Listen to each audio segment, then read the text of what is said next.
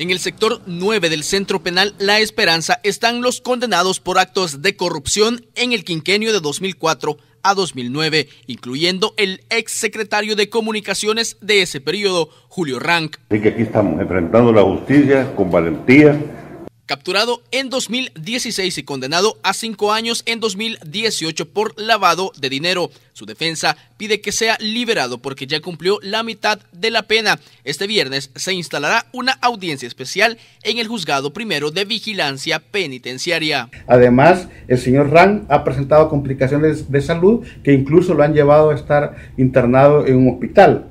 El exsecretario de Comunicaciones fue condenado junto a Elías Antonio Saca y otros exfuncionarios. El juzgado pedirá un informe del Consejo Criminológico para analizar la conducta de Rank.